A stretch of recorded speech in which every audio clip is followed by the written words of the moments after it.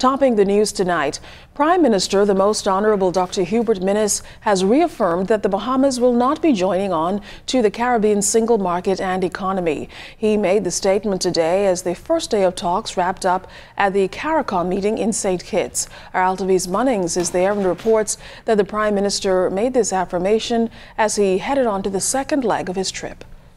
As soon as the Prime Minister arrived in the Royal Ballroom of the Marriott St. Kitts Resort and Casino, he canvassed the room to speak with his colleagues from Antigua and Barbuda, Barbados, Jamaica, Suriname, and the CARICOM organization. The official ceremony featured addresses from outgoing CARICOM Chairman and Prime Minister of Jamaica, the Most Honorable Andrew Holness, and incoming CARICOM Chairman and Prime Minister of St. Kitts and Nevis, the Honorable Dr. Timothy Harris. Prime Minister, the Most Honorable Hubert Minnis, who was accompanied at the head table with the Minister of Foreign Affairs, the Honorable Darren Henfield, reviewed their notes before the official discussions began. The main topic was the Caribbean Single Market and Economy, CSME, that allows the free movement of labor throughout the region. It's an initiative Prime Minister Minnis maintains the Bahamas does not support. They've expanded the free movement of people in that barbers can move freely, um, beauticians can move freely, agricultural um, farmers can move freely. You can imagine what that would do to, to our society if we were to agree to that. But what is most um, um enlightening. How families affect the CSME was also addressed by regional leaders Tuesday morning. When you're thinking of one individual movement moving in terms of free movement of people, you could be looking at six, seven.